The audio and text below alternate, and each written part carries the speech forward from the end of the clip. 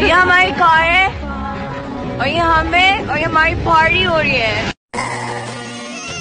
अरे वाह, ये फटाकड़े कौन है?